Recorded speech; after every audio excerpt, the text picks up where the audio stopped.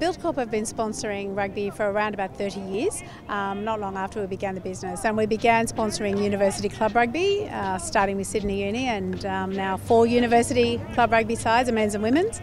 Uh, we sponsor the national women's rugby team, the Wallaroos, uh, the Super W competition, uh, Aon Sevens University uh, rugby, the women's rugby. So um, we've had uh, long and deep roots with rugby in this country.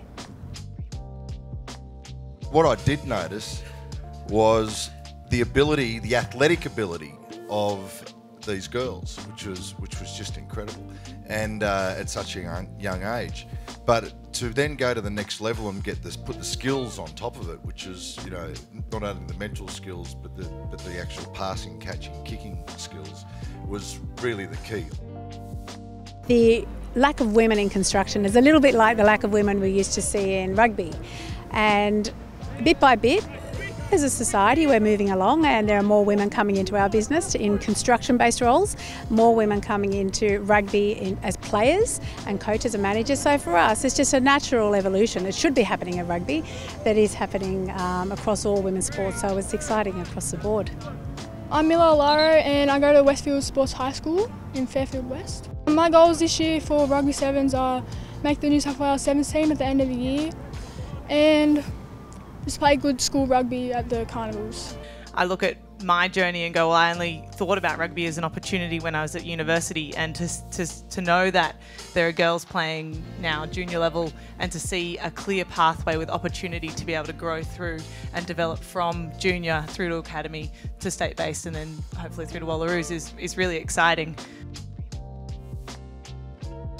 2020 is very exciting for the Australian women's sevens team because we have the Tokyo Olympics and so the sevens are going to get a real run.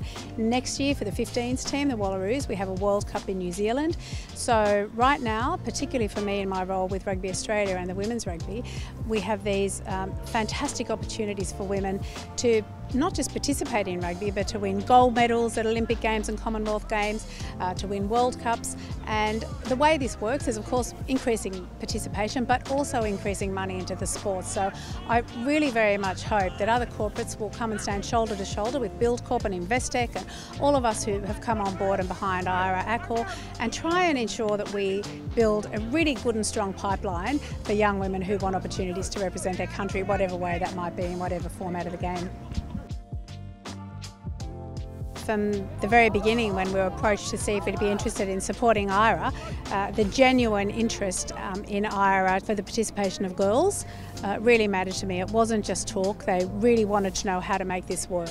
And in my role as President of Australian Women's Rugby, it is part of my responsibilities to make sure that we're building sensible pathways and pipelines of future, you know, Wallaroos, Pearls, uh, club rugby players, administrators, coaches. So for me, uh, they were so open to understand, try to understand what are the issues we're facing, and just solutions focused.